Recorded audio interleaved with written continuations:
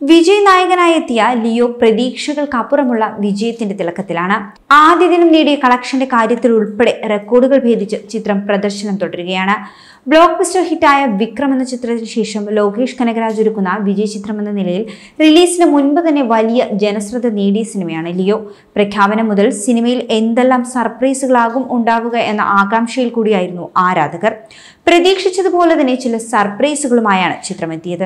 അതിലൊരു സർപ്രൈസ് ആയിരുന്നു ചിത്രത്തിൽ നടി മഡോണ സെബാസ്റ്റ്യന്റെ സാന്നിധ്യം.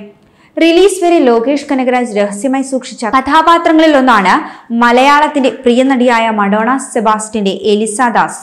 ലോകേഷിനെ പോലെ മഡോണയും തന്റെ കഥാപാത്രത്തെ അതീവ രഹസ്യമാക്കി തന്നെ വെച്ചിരുന്നു.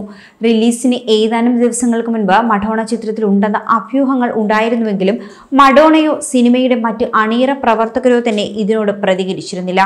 ഇപ്പോഴിതാ അത് എന്തുകൊണ്ടാണ് രഹസ്യമാക്കി വെച്ചത് എന്നതിനെയൊക്കെ കുറിച്ച് സംസാരിക്കുകയാണ് മഡോണ സെബാസ്റ്റ്യൻ. തന്റെ അമ്മയോട് മാത്രമാണ് ലിയോയിൽ അഭിനയിച്ച കാര്യം പറഞ്ഞിരുന്നതെന്ന് മഡോണ പറയുന്നു. ഒരു തമിഴ് ചാനലിന് നൽകിയ അഭിമുഖത്തിലാണ് മഡോണ സെബാസ്റ്റ്യൻ ഇക്കാര്യങ്ങൾ തുറന്നു പറഞ്ഞിരിക്കുന്നത്. സിനിമയിൽ അഭിനയിച്ച അനുഭവവും മഡോണ തന്നെ പങ്കുവച്ചിട്ടുണ്ട്. ഞാൻ അധികം സംസാരിക്കുന്ന കൂട്ടത്തിലല്ല.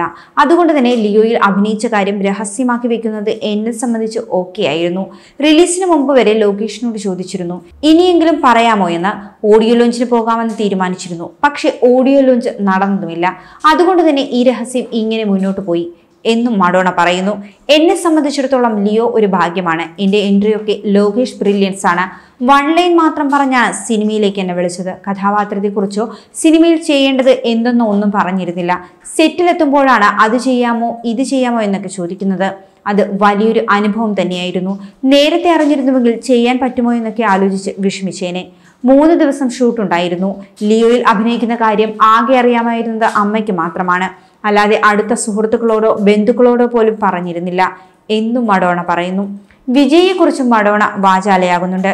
വിജയ് സാറിനൊപ്പം ഇതുപോലൊരു സിനിമയിൽ അഭിനയിക്കുവാൻ അവസരം ലഭിച്ചതിന് വലിയ കാര്യമാണ്. എല്ലാവരും പറയുന്നത് പോലെ വിജയ് സാർ അധികം സംസാരിക്കാറില്ല. പക്ഷെ സംസാരിച്ചു തുടങ്ങിയാൽ കുട്ടികളെ പോലെയാണ്. കൂടെ വർക്ക് ചെയ്യുമ്പോൾ നമുക്ക് അദ്ദേഹത്തോട് ഒരുപാട് ബഹുമാനം തോന്നും. എന്നും മഡോണ സെബാസ്റ്റ്യൻ പറയുന്നു. ഒരു ഇടവേളയ്ക്ക് ശേഷം അഭിനയിക്കുന്നതിനെക്കുറിച്ചും മഡോണ സംസാരിച്ചു. എല്ലാ സിനിമകളിലും വ്യത്യസ്തമായ കഥാപാത്രങ്ങൾ ചെയ്യണമെന്നതാണ് ആഗ്രഹം. അതിന് അവസരങ്ങൾ ലഭിക്കണം. ഇതുപോലെയുള്ള വ്യത്യസ്തമായ വേഷങ്ങൾ ചെയ്യണമെന്നതാണ് ആഗ്രഹം. വലിയ ഇടവേളയ്ക്ക് ശേഷമുള്ള എന്റെ തിരിച്ചുവരവാണെന്ന് പലരും പറയുന്നത് കേട്ടു. കോവിഡിന്റെ സമയത്താണെന്ന് തോന്നുന്നു ഇടവേള വന്നത്. നാല് സിനിമകളിൽ ഇപ്പോൾ കരാർ ഒപ്പിട്ടിട്ടുണ്ടെന്നും മഡോണ സെബാസ്റ്റ്യൻ പറയുന്നു. അൽഫോൺസ് പുത്രന്റെ പ്രേമം എന്ന ചിത്രത്തിലൂടെയാണ് മഡോണ സെബാസ്റ്റ്യന്റെ സിനിമ അരങ്ങേറ്റം. കാതലും കടന്നു പോകും എന്ന സിനിമയിലൂടെയാണ് മഡോണ തമിഴിലെത്തുന്നത്. വിജയ് സേതുപതിയുടെ നായികയായിട്ടായിരുന്നു ചിത്രത്തിൽ അരങ്ങേറിയത്. പിന്നീട് തെലുങ്കിലും കന്നഡയിലുമെല്ലാം മഡോണ സാന്നിധ്യം അറിയിച്ചിരുന്നു. കുഞ്ചാക്കോബൻ നായകനായ പത്മിനിയാണ് മഡോണ അവസാനം അഭിനയിച്ച മലയാള സിനിമ. കൂടുതൽ വാർത്തകൾക്കായി ബി ഫോർ ബ്ലേസ് ഫോളോ ചെയ്യൂ സബ്സ്ക്രൈബ് ചെയ്യൂ.